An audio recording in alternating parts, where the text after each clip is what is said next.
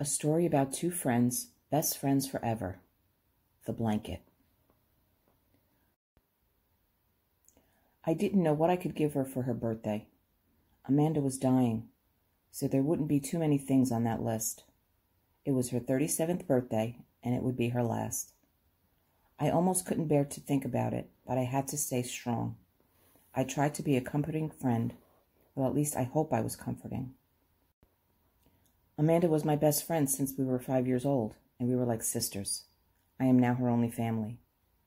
Amanda was an only child, was never married, and had no children.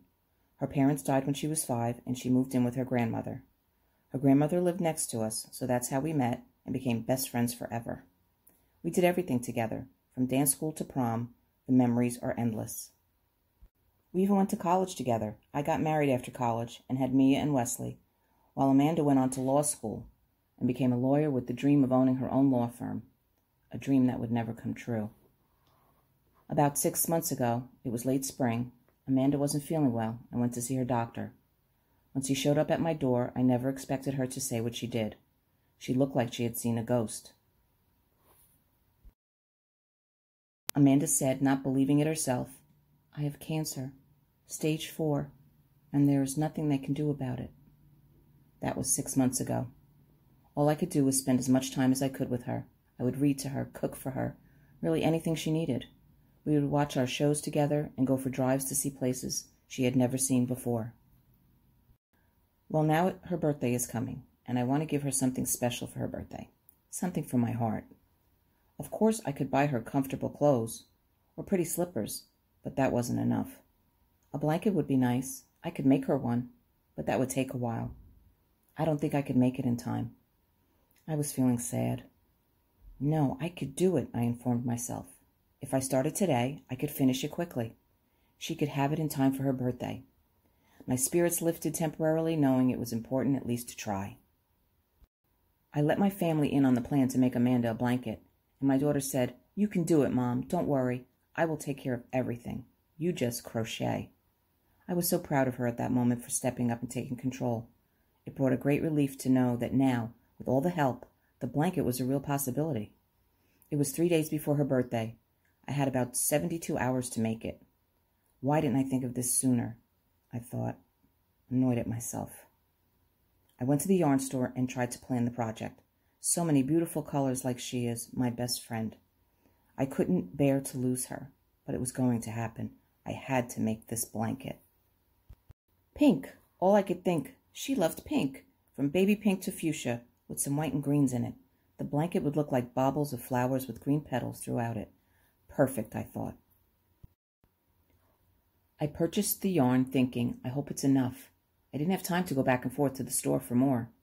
Time was ticking faster and faster, and I'm giving up some time to be with her as well by doing this.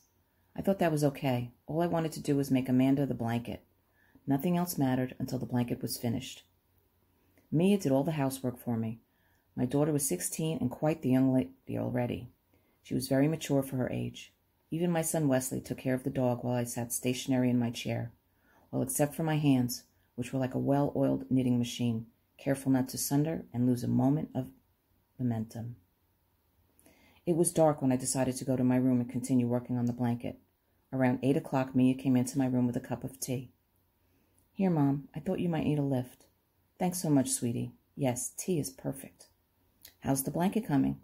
Mia ran her hand along the finished rows. I am very pleased with the colors I chose, Mia, I boasted. It's beautiful, Mom. Aunt Amanda is going to love it. We both smiled at each other. I could tell that Mia was trying to be strong for me. I gave her a hug as she cheered me on, and then she left the room. Amanda was also very close to Mia, and I know she was feeling the pain of her illness as well. All this that was with me was my yarn and my hook. I took a sip of tea, a deep breath, and continued. Sixty hours to go before Amanda's birthday. I crocheted until 2 a.m., and when my eyes started to close, I realized I just couldn't crochet anymore. I think I was on schedule. I set my alarm for 6 in the morning, and then I put the blanket next to me on the bed, pulled the covers over me, and before I could think any more, I was asleep.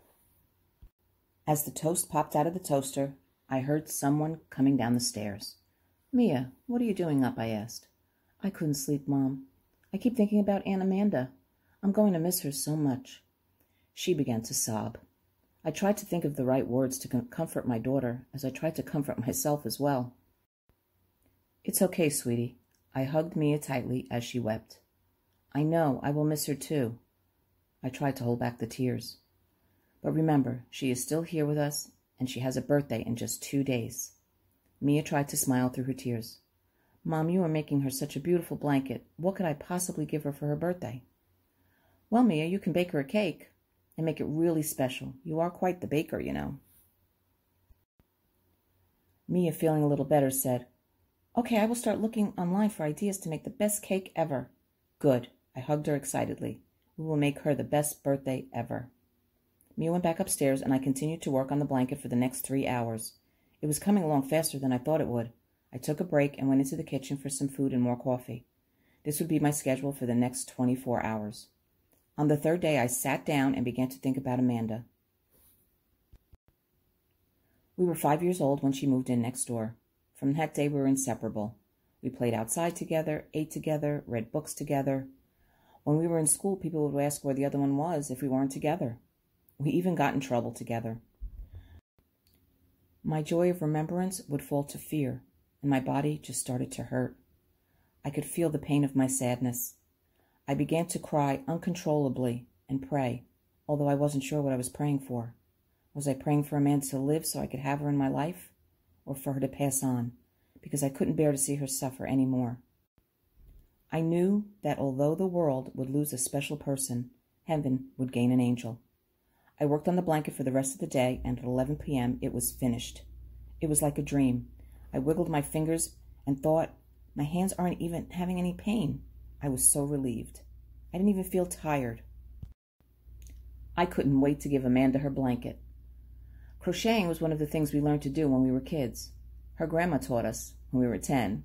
I folded the blanket with more love than I ever could imagine. I lay down and fell into a deep sleep. The alarm went off, and I opened my eyes almost unaware of where I was.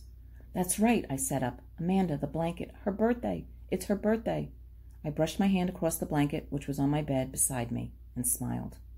Mom, are you awake? Mia appeared at my door. Yes, honey, I am, I announced. Well, come on downstairs. Breakfast is ready. Ready? Yes, I cooked.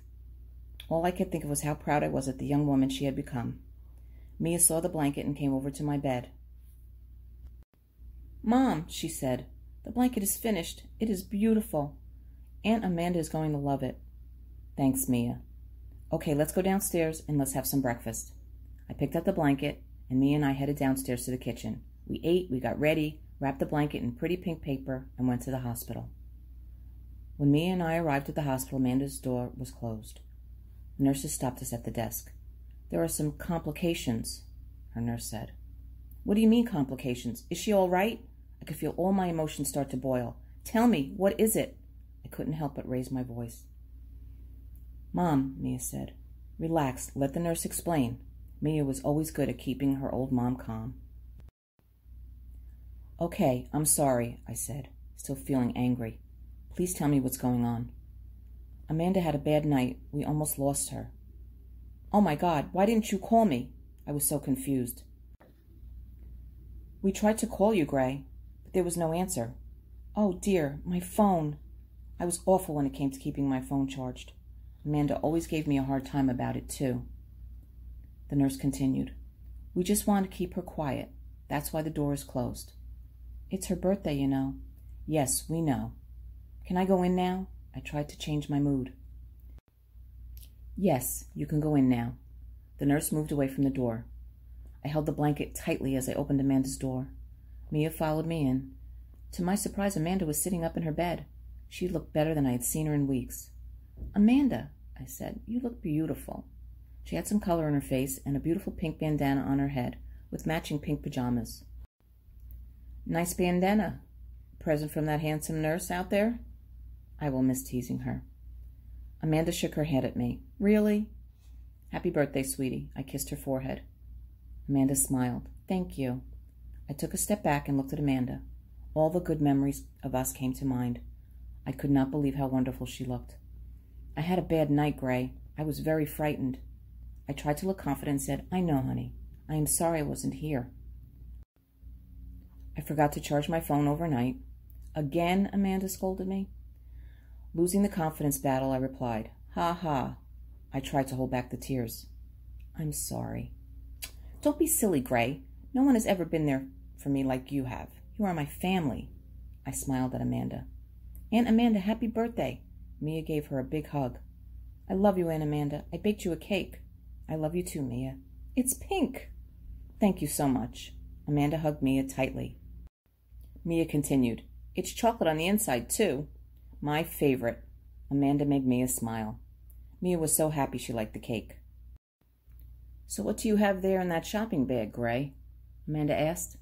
It's your birthday present, I said with pride. Well, can I have it? She teased again.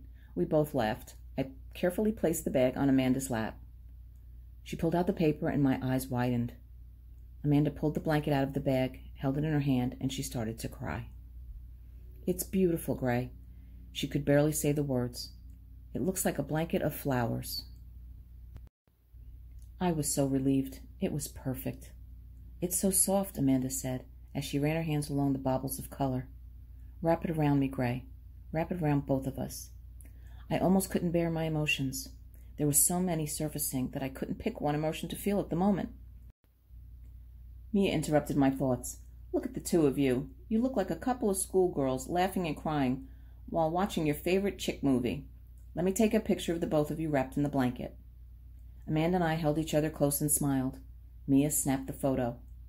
Mia and I spent the day with Amanda. At the end of the day, Amanda thanked us for the best birthday ever. Before leaving Amanda, I covered her with the blanket and tucked her in for the night. I kissed her forehead, and then Mia and I went home. Mia framed the picture for me, and I have it on the table in the front foyer so I can see Amanda every day. The picture of Amanda and I wrapped in the blanket would be the last picture that was taken of the two of us. Two years later. It has been two years since Amanda passed, and I miss her every day. Amanda insisted I donate the blanket I made for her to another cancer patient. She wanted someone else to feel the love and warmth the blanket brought her. I wanted so much to keep it, but I did as she said.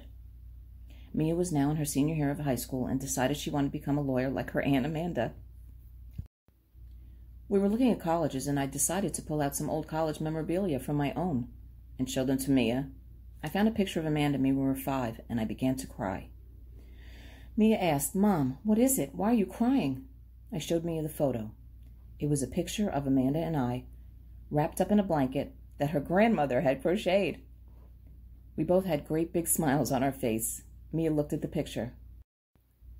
Look, Mom, you are both in the same pose as in the picture I took of you on Aunt Amanda's birthday. Mom, let me frame it for you.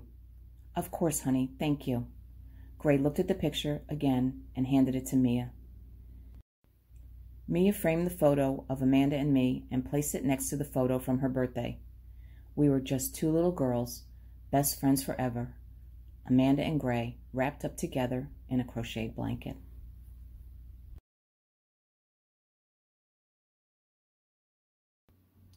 Well, I hope you enjoyed this story. For more information on my books and more stories, look in the description.